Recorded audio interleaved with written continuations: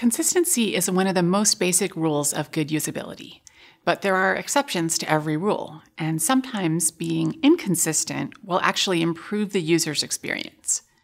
How can you know when you should be consistent and when is it okay to break consistency? A good way to describe consistency is using the same solution for the same problem. And this definition provides a clue about when you should not be consistent. If there's already a good solution for a design problem, you should be consistent and follow the existing pattern instead of making up a new one. But when you're facing a new problem, you need a new solution.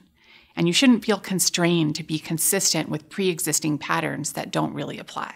The trick, of course, is deciding whether a problem is actually different enough to justify considering it a new problem and being inconsistent with previous patterns that may violate user expectations.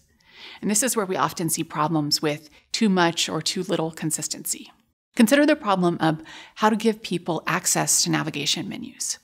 On a small screen, a good solution to this problem is to provide a small menu button that can be shown on every screen, providing persistent access to menus without taking up a lot of space.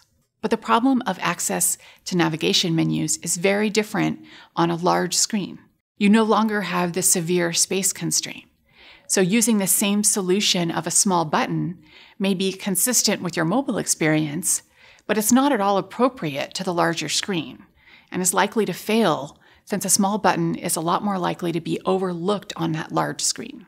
For any design problem, it's good to look for pre existing solution patterns.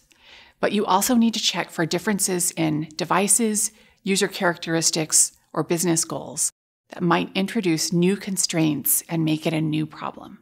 Being consistent will help people learn to use your interfaces easily, but only when those solutions are actually appropriate to their current situation.